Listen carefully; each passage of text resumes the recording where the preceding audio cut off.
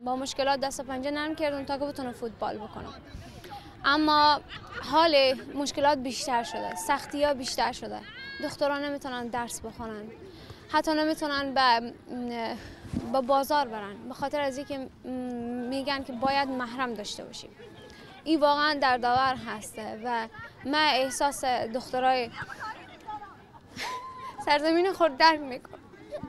و امیدوار هستم این چیز خاتمه پیدا بکنه و زودتر تمام بشه.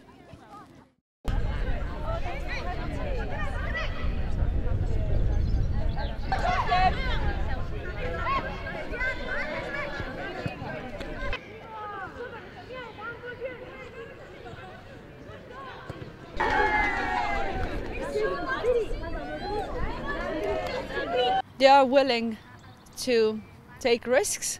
They are willing to enjoy freedom, but they're also missing home. Um, they're still they're still in shock what happened in Afghanistan and why it happened.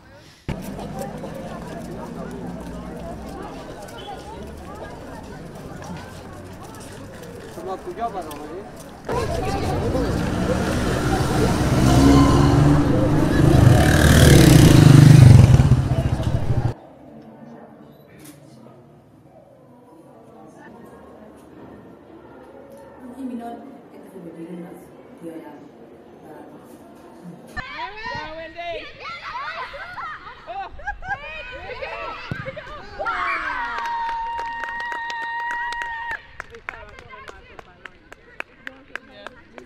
I think we've been beaten in every single one of them, but that's not the point. The, the, fact is that we've played this amazing game.